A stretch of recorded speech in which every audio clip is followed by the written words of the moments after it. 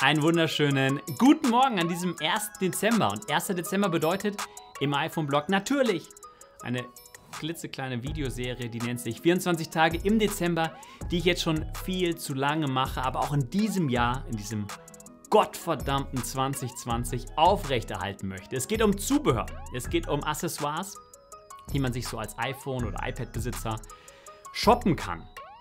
Es geht auch um die Leute, die eine Apple Watch haben oder einen Mac. Oder alle, die einfach Lust haben, hier zuzuschauen. Es sind tägliche Videos. Ich versuche 24 hinzubekommen.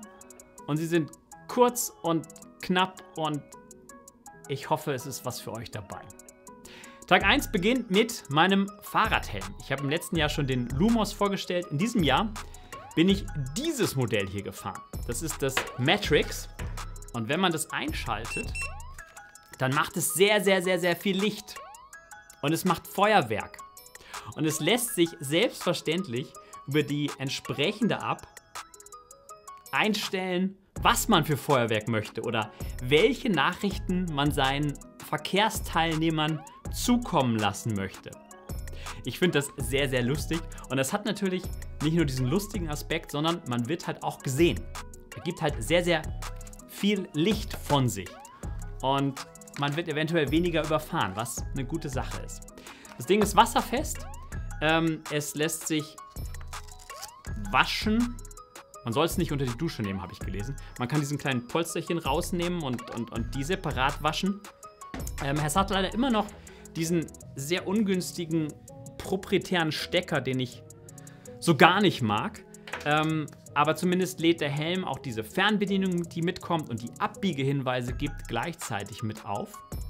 Ähm, es gibt jetzt die Möglichkeit, so eine, so eine Bremsanzeige zu haben. Also wenn man unterwegs ist und plötzlich langsam wird, also bremst, dann signalisiert das kleine Display nach hinten raus, ähm, hey, der wird gerade langsam, fahr mal auch langsamer.